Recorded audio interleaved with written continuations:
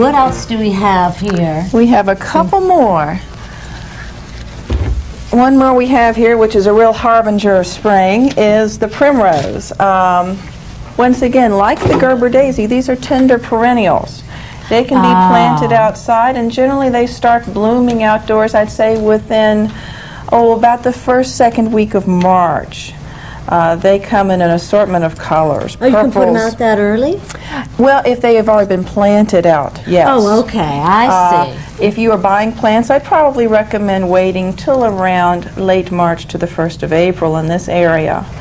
They are wonderful little spring-like blossoms. Some varieties grow quite tall. Most are compact like this. So these won't get too much taller. They no, spread they out won't. a They little will spread out. Uh-huh. but they're more a spready plant than a tall plant. exactly. Oh, they And are really cute. They are.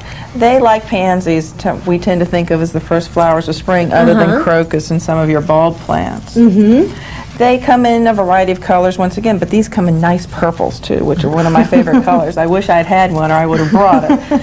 But almost every color of the rainbow you can find in Ah. primrose. Now, in the house, how long will they last? You know, looking pretty like this. I would say probably about four weeks, maybe six. They like cool temperature, similar to a cyclamen. Okay. So a north or an east window is good for these plants because they get a significant drop in nighttime temperature if they're right uh-huh. against the pane of the window. And they will, in a real warm house, I'd say put them in an unheated room or against a window. They won't tolerate too much heat.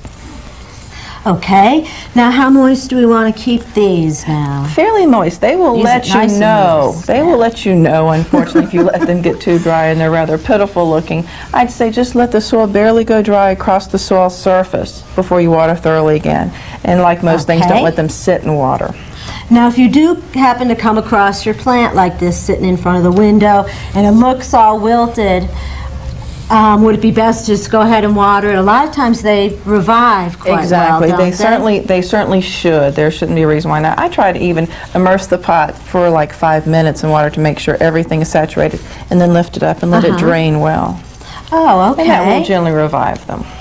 And then after they're done in the house, they don't look too well anymore. All the blooms are gone. Then you can plant them outside. It's it's Yes. safe After, last chance of frost or Okay. thereby. Uh, this, like most things, you'd want to prune off any spent blossoms because that will encourage more to come up from the bottom. Sure. And you can look inside and you can see lots of little buds ready to come out. So you know you're going to get a good long life out of these. That's great. Now you can also buy these in individual pots if you'd like. This particular pot has about four or five different ones, but they do come as individuals. They are really cute. Okay. So now?